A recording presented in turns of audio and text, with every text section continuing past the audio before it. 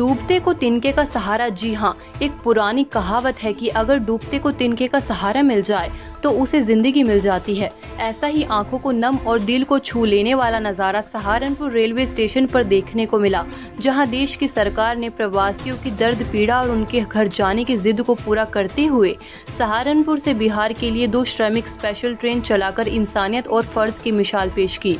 पंजाब से सैकड़ों किलोमीटर की जोखिम भरी पैदल यात्रा करते हुए सहारनपुर रेलवे स्टेशन पर सरकार के निर्देश पर ज़िले के आला अधिकारियों ने 1320 यात्रियों को ट्रेन में बिठा बिहार के लिए रवाना किया तो जहाँ प्रवासियों ने सिसक सिसक कर रोना शुरू कर दिया।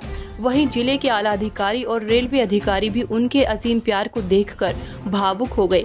ट्रेन के चलते ही प्रवासियों ने विदाई का अभिवादन करते हुए हाथों को हिलाकर नम आँखों से विदाई का संकेत देते हुए कहा कि ऐसे प्यार को जो सहारनपुर में मिला है, इसे हम कभी नहीं भूल पाएँगे।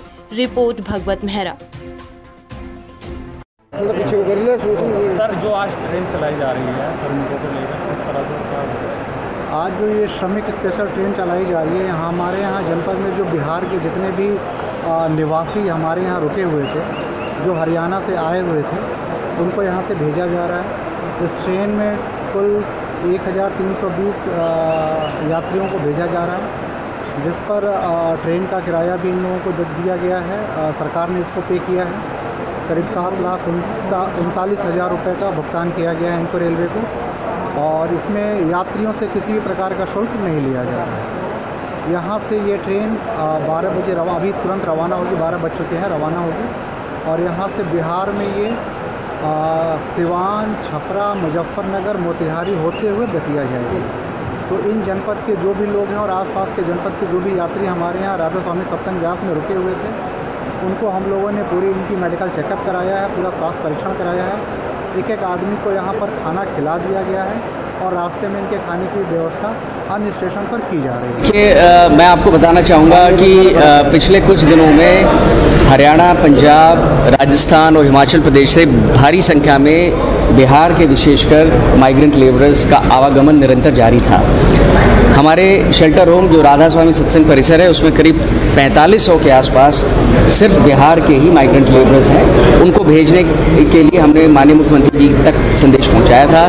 माननीय मुख्यमंत्री जी ने सहर्ष से राज्य सरकार के खर्चे पे इन सभी माइग्रेंट लेबरर्स को अपने घर तक पहुँचाने का निर्णय लिया है। उसी के क्रम में आज पहली पहली जो स्पेशल श्रमिक ट्रेन जो है, आज सहारनपुर से रवाना होने जा रही है। इसमें तकरीबन 1320 माइग्रेंट लेबरर्स हैं जो आज बैठे हैं। ये सहारनपुर से बेतिया तक ये ट्रेन जाएगी और बीच में सिवान, छपरा, मुजफ्फरपुर और मोतिहारी। ये इन स्टेशंस पर भी ये रुकेगी। जितने श्रमिक आए हैं इनको साबुन एक, एक डिटॉल साबुन भी दिया गया है। इन सबको टूथपेस्ट ब्रश की व्यवस्था दी गई है। भोजन एक भोजन पैक भोजन भी सभी श्रमिकों के लिए आ, ये ट्रेन उन सबको उपलब्ध कराया गया है। रेलवे द्वारा एक निःशुल्क भोजन पुनः आगे रात्रि का जो भोजन है वो इन लोगों को उपलब्ध कराया जाएगा। और मुझे विश्वास है कि एक अच्छे माहौल में खुशी खुशी सारे माइग्रेंट्स जो हैं अपने घर तक पहुँच पाएँगे। Isso aqui é com o João, né? Migrants के लिए सर, कुछ और ट्रेन अभी रवाना होगी इसके बाद से? जी हाँ राज्य सरकार से हमें छः ट्रेन चलाने की अभी तक अनुमति मिली है।